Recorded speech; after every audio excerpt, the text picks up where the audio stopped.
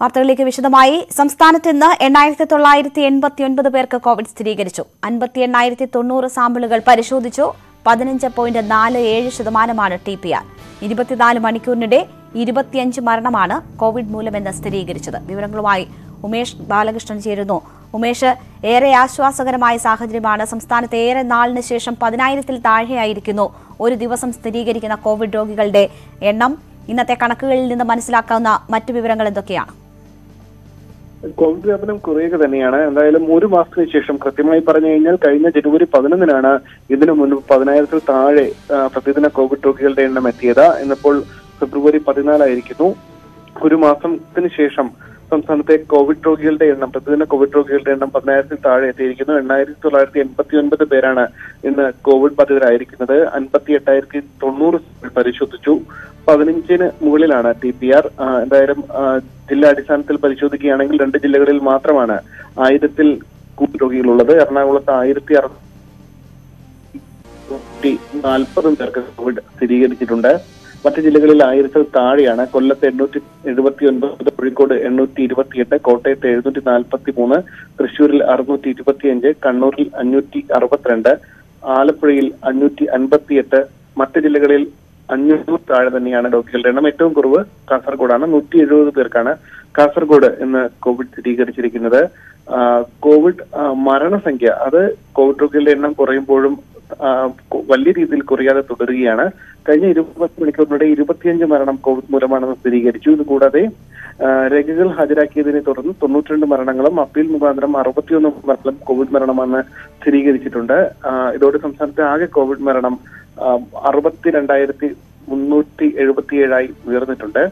ചികിത്സയിലുണ്ടായിരുന്ന ഇരുപത്തിനാലായിരത്തി എഴുന്നൂറ്റി അൻപത്തിയേഴ് പേരാണ് രോഗമുക്തി നേടിയിട്ടുള്ളത്. രോഗമുക്തി നേടിയവരുടെ എണ്ണത്തിൽ കൂടുതൽ തിരുവനന്തപുരത്താണ്. തിരുവനന്തപുരത്ത് നാലായിരത്തി അഞ്ഞൂറ്റി അറുപത്തിയഞ്ച് പേരാണ് രോഗമുക്തി നേടിയത്. എറണാകുളത്ത് മൂവായിരത്തി അൻപത്തി തൃശൂരിൽ രണ്ടായിരത്തി അറുന്നൂറ്റി നാലും കോട്ടയത്ത് രണ്ടായിരത്തി അറുന്നൂറ്റി തൊണ്ണൂറ്റി നാല് പേരും രോഗമുക്തി നേടി.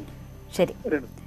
ഇന്നലെ വരെയുള്ള രാജ്യത്തെ കണക്കെടുത്താൽ പതിനായിരത്തിന് മുകളിൽ കേസുകളുള്ള ഏക സംസ്ഥാനം കേരളമായിരുന്നു. ഇന്ന് സംസ്ഥാനത്തും പതിനായിരത്തിൽ താഴെയാണ് കേസുകൾ. കോവിഡ് കുറയുന്നതിന്റെ കൃത്യമായ ലക്ഷണങ്ങൾ രോഗികളുടെ എണ്ണത്തിൽ വലിയ കുറവുണ്ടാകുന്നു. ആശ്വാസകരമായ സാഹചര്യം സംസ്ഥാനത്തെ സംബന്ധിച്ച് ഉമേഷ് ബാലകൃഷ്ണനാണ് വാർത്തയുടെ വിശദാംശങ്ങൾ നൽകിയത്. സിൽവർ ലൈൻ പദ്ധതിയിൽ സംസ്ഥാന സർക്കാരിന് ആശ്വാസം. പദ്ധതിയുടെ സർവേ നടപടികൾ തടഞ്ഞ സിംഗിൾ ബെഞ്ച് ഉത്തരവ് ചീഫ് ജസ്റ്റിസ് അധ്യക്ഷനായ ഹൈക്കോടതി ഡിവിഷൻ ബെഞ്ച് റദ്ദാക്കി. വിശദമായ പദ്ധതി രൂപരേഖ കോടതിയിൽ സമർപ്പിക്കേണ്ടതില്ല.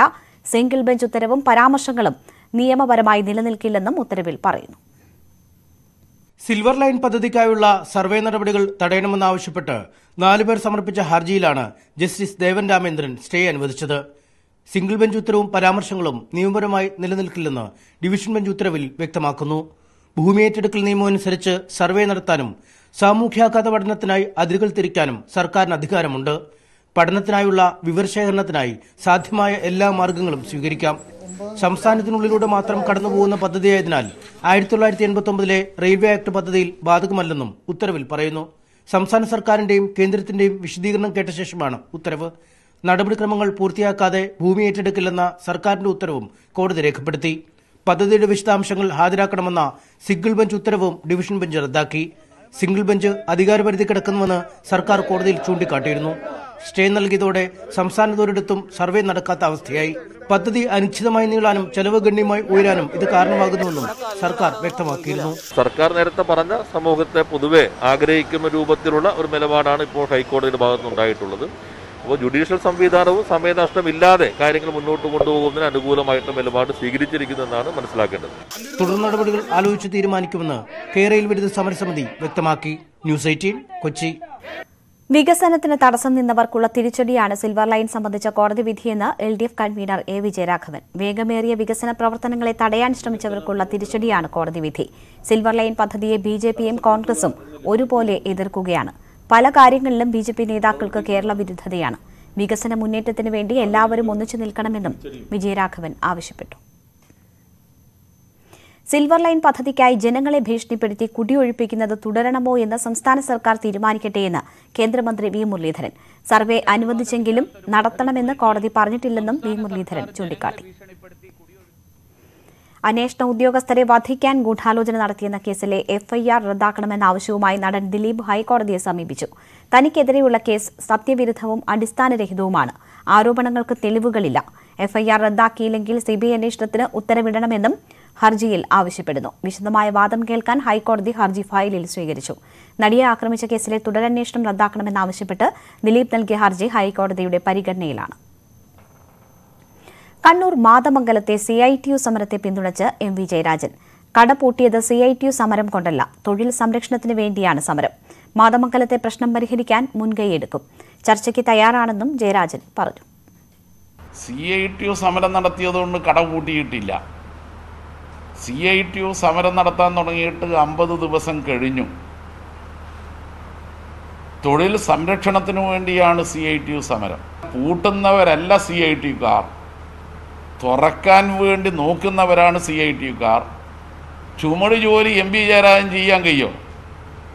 ചുമട് ജോലി ചെയ്യണമെന്ന് നിങ്ങൾ ആഗ്രഹിക്കുന്നുണ്ടോ? പക്ഷേ ആ ജോലി ചെയ്യാൻ നിർബന്ധിക്കപ്പെടുന്ന തൊഴിലാളിക്ക് ജോലി കൊടുക്കൂല എന്ന് പറഞ്ഞാൽ വേണ്ട. പണി നിർത്താം എന്ന് തൊഴിലാളി പറയുകയാണോ വേണ്ടേ അതുകൊണ്ട് ഇപ്പോഴും ഞങ്ങൾ അഭ്യർത്ഥിക്കുന്നു എസ് ആർ ട്രേഡേഴ്സിന്റെ ഉടമയോട് ചുമട്ട് തൊഴിലാളികൾക്ക് ജോലി കൊടുത്തുകൊണ്ട് പ്രശ്നം തീർക്കണം. പാതമംഗലത്ത് വനിതാ എസ് ഐക്ക് താക്കീത് നൽകിയ സി ഐ ടി നേതാവിന്റെ പ്രസംഗം. സി ഐ ടി നേതാവ് എം പി ദാമോദരനാണ് ഭീഷണിയുടെ സ്വരത്തിൽ സംസാരിച്ചത്. സി പി എം പ്രവർത്തകനായ രഞ്ജിത്തിനെ പാർട്ടി ഓഫീസിൽ കയറി അറസ്റ്റ് ചെയ്തതിലാണ് പ്രതികരണം. സി ഐ ടി വിലക്കിയ കടയിൽ നിന്ന് സാധനം വാങ്ങിയ അഫ്സലാണ് രഞ്ജിത്ത് ആക്രമിച്ചതായി പരാതി നൽകിയത്. പാർട്ടി ഓഫീസിൽ വന്ന് അറസ്റ്റ് ചെയ്യാൻ എവിടെ നിന്ന് ധൈര്യം കിട്ടിയെന്ന് ദാമോദരൻ ചോദിച്ചു. പാർട്ടി ഓഫീസിൽ വന്ന അവസ്ഥ. എവിടെയാണ് എത്ര ധൈര്യം വന്നത്? അതെല്ലാം നല്ല കീഴ്വഴക്കെല്ലാമല്ല എന്ന് അവർ മനസ്സിലാക്കണം ഒരു വനിതാ എസ് ഐ ആണ് ഇല്ലേ ഇല്ലല്ലേ ആ. വനിതായതുകൊണ്ട് എന്തും ചെയ്യാൻ പറ്റില്ല. ന്യായാന്യായങ്ങൾ പരിശോധിച്ച് വേണം പാർട്ടി ഓഫീസിൽ കയറാൻ. എന്നുള്ളത് ധാരണ വനിതാ എസ് ഐക്ക് ഉണ്ടാവുന്നത് നല്ലതാണ്. എന്തിനാ കണ്ടവന്റെ ഓച്ചാരം മേടിച്ച് ഒരു കിട്ടിയ കറിയുടെ പിന്നാലെ വ്യാജമാണോ സത്യമാണോ എന്ന് പരിശോധിക്കാതെ പിന്നാലെ ഓടിച്ചാടി പോകേണ്ട കാര്യമെന്താ? അതുകൊണ്ട് അന്ന് ആ വിവരം നമ്മൾ അറിഞ്ഞില്ല? നിങ്ങൾ ഈ രഞ്ജിത്തിന്റെ ഒരു രോമത്തിന് തൊടാൻ നിങ്ങൾക്ക് അറസ്റ്റ് ചെയ്യാൻ നിങ്ങൾക്ക് സാധിക്കില്ലായിരുന്നു. അതേസമയം പ്രശ്നം പരിഹരിക്കാൻ തൊഴിൽ മന്ത്രി വി ശിവൻകുട്ടിയുടെ നിർദ്ദേശം. ഇതിന് labour commissioner S Chitra I A എസിനെ ചുമതലപ്പെടുത്തി. സംസ്ഥാനത്ത് തൊഴിലാളികളുടെ താൽപര്യം സംരക്ഷിക്കുന്നതിനൊപ്പം വാണിജ്യ വ്യവസായ സ്ഥാപനങ്ങൾക്ക് പ്രവർത്തിക്കാൻ സുഗമമായ അന്തരീക്ഷം ഉറപ്പുവരുത്തുമെന്ന് മന്ത്രി പറഞ്ഞു. കണ്ണൂർ മാതമംഗലത്ത് സി ഐ ടി സമരത്തെ തുടർന്ന് വ്യാപാര സ്ഥാപനം അടച്ചുപൂട്ടിയ സംഭവത്തിൽ സർക്കാരിനെതിരെ പ്രതിപക്ഷ നേതാവ്. ആന്തൂരിൽ പ്രവാസി വ്യവസായി സാജനെയും പുനലൂരിൽ വർക്ക്ഷോപ്പ് ഉടമ സുഗതനെയും ആത്മഹത്യയിലേക്ക് തള്ളിവിട്ടവർ തന്നെയാണ് മാതമംഗലത്ത് വ്യാപാര സ്ഥാപനം അടച്ചുപൂട്ടിയത്. ഈ പാപഭാരത്തിൽ നിന്നും സി പി എമ്മിനും ഇടതുമുന്നണിക്കും ഒഴിഞ്ഞു നിൽക്കാനാകില്ലെന്ന് മുഖ്യമന്ത്രിക്ക് അയച്ച കത്തിൽ പ്രതിപക്ഷ നേതാവ് വി. ഡി. സതീശൻ ആരോപിച്ചു. കണ്ണൂർ കൊലപാതകത്തിൽ അറസ്റ്റിലായ പ്രതി അക്ഷയുമായി പോലീസ് തെളിവെടുപ്പ് നടത്തി. കണ്ണൂർ താഴെച്ചൊവ്വയിലെ പടക്കക്കടയിലാണ് അക്ഷയെ എത്തിച്ചത്. ഇവിടെ നിന്നും പടക്കം വാങ്ങിയതായി പ്രതി സമ്മതിച്ചു.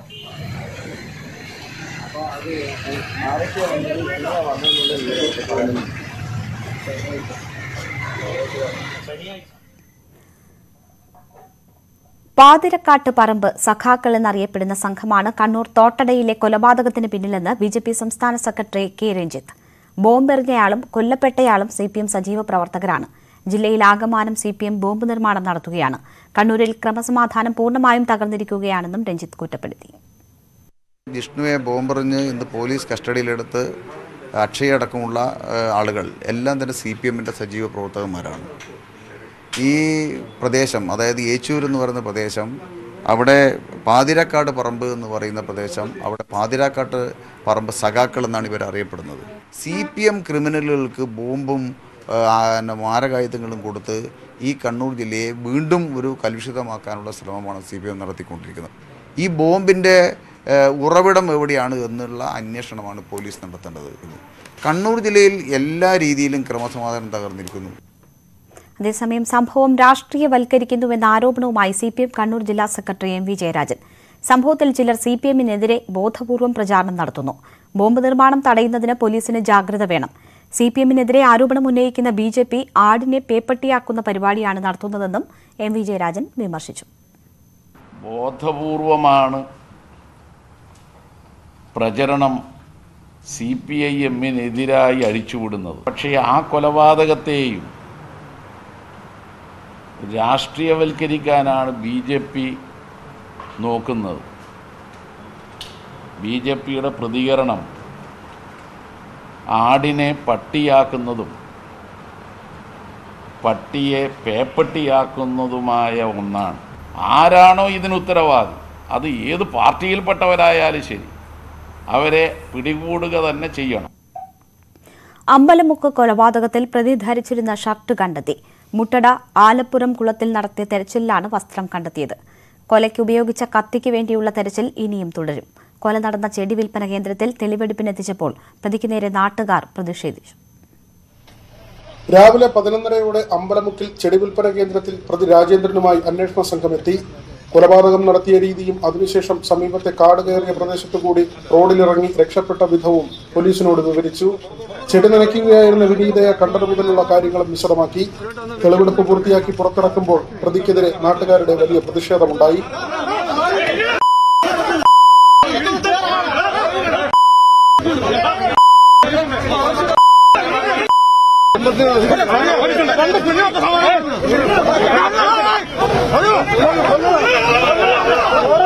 രക്തക്കറ പുരണ്ട വസ്ത്രവും കൊലയ്ക്കുപയോഗിച്ച കത്തിയും വലിച്ചെറിഞ്ഞുവെന്ന മൊഴിയെ തുടർന്നായിരുന്നു മുട്ടട ആലപ്പുറം കുളത്തിലെ തെളിവെടുപ്പ്. കണ്ടെടുത്ത വസ്ത്രം തന്റേതാണെന്ന് പ്രതി സമ്മതിച്ചു.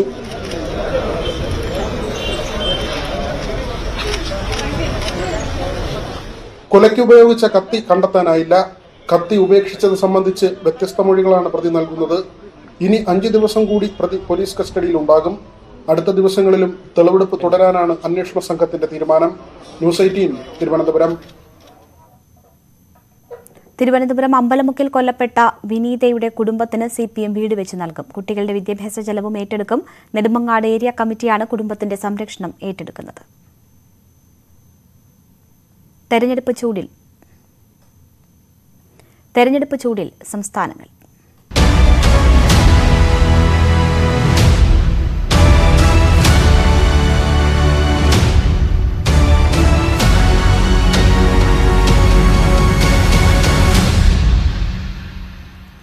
ഉത്തരാഖണ്ഡ് ഗോവ സംസ്ഥാനങ്ങളിൽ വോട്ടെടുപ്പ് അവസാനിച്ചു. മികച്ച പോളിംഗ് ആണ് ഗോവയിൽ അഞ്ച് മണിവരെ എഴുപത്തിയഞ്ച് ശതമാനത്തിന് മുകളിൽ പോളിംഗ് രേഖപ്പെടുത്തി. ഉത്തർപ്രദേശിലെ അൻപത്തിയഞ്ച് മണ്ഡലങ്ങളിലാണ് ഇന്ന് വോട്ടെടുപ്പ് നടന്നത്.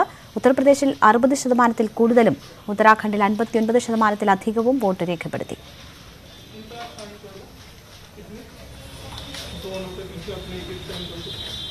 കെ പി അഭിലാഷ് വിവരങ്ങളുമായി ചേരുകയാണ്. അഭിലാഷ് വോട്ടെടുപ്പ് സമയം പൂർത്തിയായിരിക്കുന്നു. ഇപ്പോൾ ലഭിക്കുന്ന വിവരങ്ങൾ അനുസരിച്ച് പോളിംഗ് ഈ മൂന്നിടങ്ങളിലും എങ്ങനെയായിരുന്നു?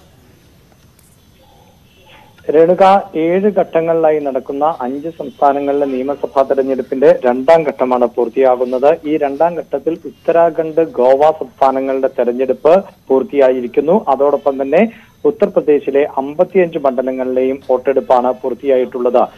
നിലവിലെ റിപ്പോർട്ടുകൾ അനുസരിച്ച് ഗോവയിൽ ആണ് ഏറ്റവും മികച്ച പോളിംഗ് രേഖപ്പെടുത്തിയിട്ടുള്ളത്. തെരഞ്ഞെടുപ്പ് കമ്മീഷന്റെ കണക്കുകൾ പ്രകാരം എഴുപത്തിയഞ്ച് ശതമാനത്തിന് മുകളിൽ ആണ് ഇപ്പോൾ വോട്ട് രേഖപ്പെടുത്തിയിട്ടുള്ളത്. അതേസമയം ഉത്തർപ്രദേശിലും ഏതാണ്ട് കഴിഞ്ഞ ആദ്യഘട്ടത്തിലേതുപോലെ അറുപത് ശതമാനത്തിൽ കൂടുതൽ ആണ് വോട്ട് രേഖപ്പെടുത്തിയിട്ടുള്ളത്. ഉത്തരാഖണ്ഡിലാണ് നിലവിൽ വോട്ടിംഗ് ശതമാനത്തിൽ കുറവുള്ളത്. അമ്പത് ശതമാനത്തിൽ അമ്പത്തിയൊമ്പത് ശതമാനത്തിന് മുകളിൽ ആണ് വോട്ട് രേഖപ്പെടുത്തിയിട്ടുള്ളത്. ഇത് പ്രാഥമികമായ കണക്കാണ്. തീർച്ചയായും അന്തിമ പട്ടിക പുറത്തു വരുമ്പോൾ വോട്ടിംഗ് ശതമാനത്തിൽ നേരിയ വർധനവ് ഉണ്ടാവുകയും ചെയ്യും. രാവിലെ മുതൽ തന്നെ വോട്ടെടുപ്പ് ഉത്തർപ്രദേശിലും അതോടൊപ്പം തന്നെ ഗോവയിലും ഏഴ് മണിക്ക് വോട്ടെടുപ്പ് ആരംഭിക്കുമ്പോൾ മികച്ച പ്രതികരണമായിരുന്നു. എന്നാൽ പിന്നീട് വോട്ടിംഗ് നില മന്ദഗതിയിലാവുകയാണ് ചെയ്തത്. അതേസമയം ഉത്തരാഖണ്ഡ് രാവിലെ എട്ട് മണി മുതലാണ് വോട്ടെടുപ്പ് ആരംഭിച്ചത്.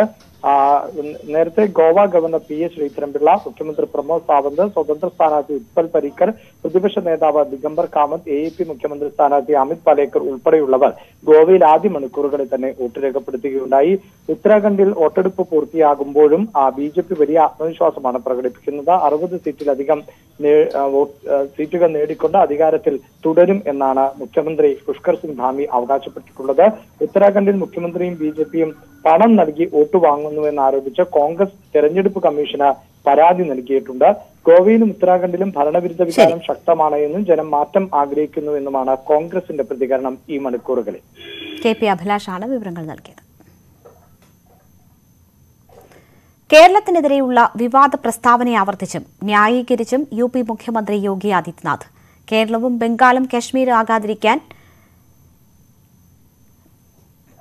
കേരളവും ബംഗാളും കശ്മീരും ആകാതിരിക്കാൻ യു പി ജനതയ്ക്ക് താൻ നൽകിയ മുന്നറിയിപ്പാണ് പ്രസ്താവനയെന്നാണ് വിശദീകരണം കേരളത്തിലെയും ബംഗാളിലെയും പോലെ രാഷ്ട്രീയ അക്രമങ്ങളും കൊലപാതകങ്ങളും യു പിയിലില്ലെന്നാണ് യോഗിയുടെ വാദം इस बार उत्तर प्रदेश को कश्मीर बंगाल और केरल बनते देर नहीं लगेगी आपका वोट मेरे पांच वर्ष की तपस्या पर आप- ഉത്തർപ്രദേശിൽ ആദ്യഘട്ട വോട്ടെടുപ്പിന് തൊട്ടുമുമ്പ് മുഖ്യമന്ത്രി യോഗി ആദിത്യനാഥ് നടത്തിയ പരാമർശം ഏറെ വിമർശനത്തിനും പ്രതിഷേധത്തിനും ഇടവെച്ചിരുന്നു വോട്ടർമാർക്ക് പിഴവ് പറ്റിയാൽ യു പി കേരളവും ബംഗാളും കാശ്മീരുമാകുമെന്നായിരുന്നു യോഗിയുടെ പരാമർശം ഇതിൽ ഉറച്ചു നിൽക്കുകയാണ് യോഗി ആദിത്യനാഥ് യു പി ജനതയ്ക്ക് മുന്നറിയിപ്പ് നൽകേണ്ടത് തന്റെ ഉത്തരവാദിത്തമാണെന്നാണ് ന്യായീകരണം इसके प्रति जनता को अलर्ट करने के लिए आवश्यक था सेंध लगाने के लिए लोग आ गए हैं यूपी को फिर से उस तर्ज पर आग लगाने के लिए और ये कतई मत होने देना ये मेरा दायित्व था हमने अलर्ट कर दिया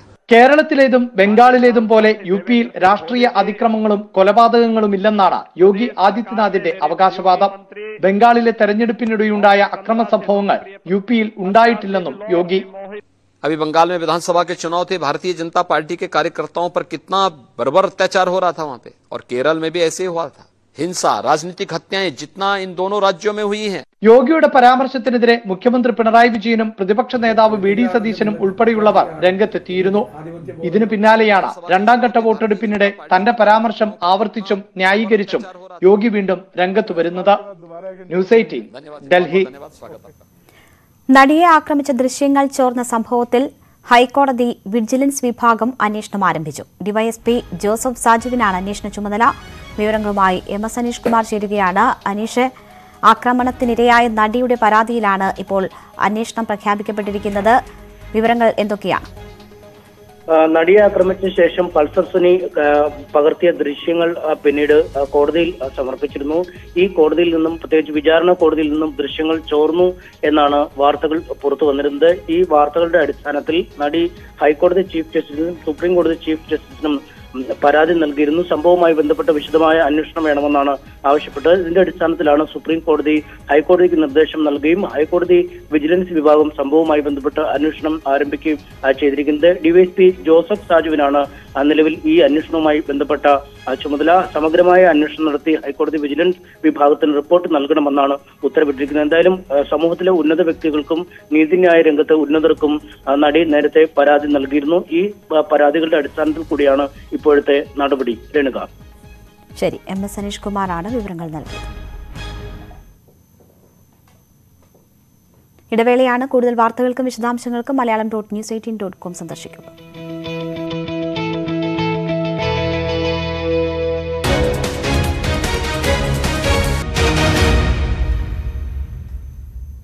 വാർത്തകൾ തുടരുന്നു. കോഴിക്കോട് കുതിരവട്ടം മാനസികാരോഗ്യ കേന്ദ്രത്തിൽ നിന്ന് ചാടിപ്പോയ രണ്ടുപേരിൽ ഒരാളെ കണ്ടെത്തി.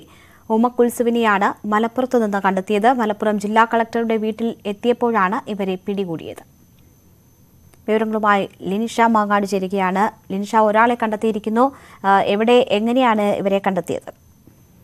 രേണുക ഇന്ന് രാവിലെയാണ് വാർഡ് അഞ്ചിലെ കുതിരവട്ടം മാനസികാരോഗ്യ കേന്ദ്രത്തിൽ കേന്ദ്രത്തിൽ വാർഡ് അഞ്ചിലെ ഒരു യുവതിയെയും യുവാവിനെയും കാണാതാവുന്നത് മുപ്പത്തിരണ്ട് വയസ്സുകാരിയായ ഉമ്മുക്കുൽസു ആണ് യുവതി.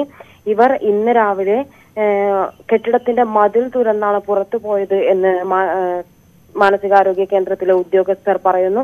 അതായത് വെള്ളം നനച്ചുകൊണ്ട് ചുമർ കുതിർത്ത് അത് പ്ലേറ്റ് പോലുള്ള എന്തോ സാധനം വെച്ച് അത് തുരന്നിട്ട് പുറത്തു പോയി എന്നാണ് അധികൃതർ പറയുന്നത്. അതിന് ചുറ്റ് പുറത്തൊരു വലിയ മതിലുണ്ട്. അതെങ്ങനെ ചാടിക്കടന്നു എന്നത് വ്യക്തമല്ല. ഇവർ മലപ്പുറം സ്വദേശിയാണ്. ഇതിനുശേഷം ഇവർ മലപ്പുറം ജില്ലാ കളക്ടറുടെ വീട് വീട്ടിലെത്തി ജില്ലാ കളക്ടറോട് സംസാരിക്കണമെന്ന് ആവശ്യപ്പെടുകയായിരുന്നു.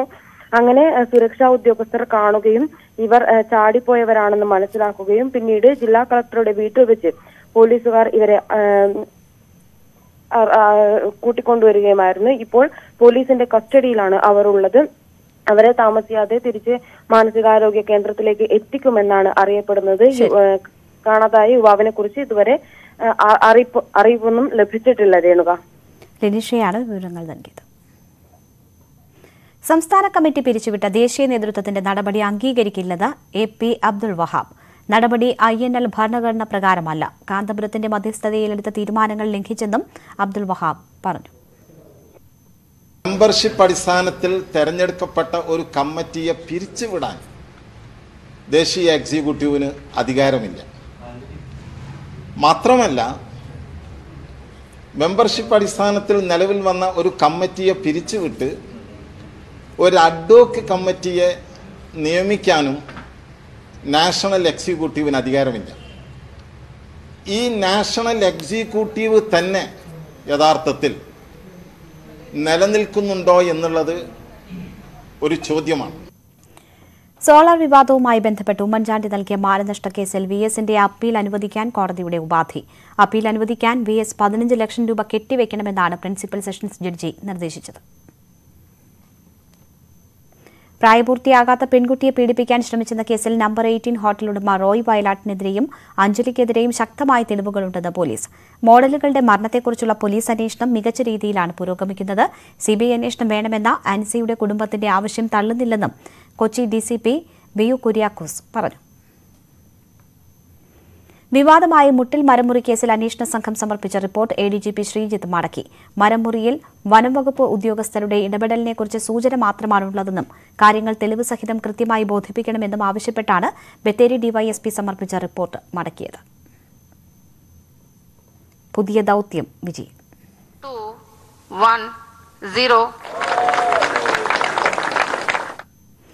ഈ വർഷത്തെ ഐ എസ് ആർഒയുടെ ആദ്യ ബഹിരാകാശ ദൌത്യം വിജയം. ഭൌമ നിരീക്ഷണ ഇ ഒ എസ് ഫോറും മറ്റ് രണ്ട് ചെറു ഉപഗ്രഹങ്ങളുമാണ് P S L V C fifty two rocket കുതിച്ചുയർന്നത്. മലയാളിയായ എസ് സോമനാഥ് ഐ എസ് ആർഒയുടെ തലപ്പത്തെത്തിയ ശേഷമുള്ള ആദ്യ ദൗത്യമാണിത്. ഇസ്രോയുടെ അടുത്ത വിക്ഷേപണം വൈകാതെ ഉണ്ടാകുമെന്ന് എസ് സോമനാഥ് പറഞ്ഞു. The mission of PSLVC 52 EOS 04 has been successfully accomplished.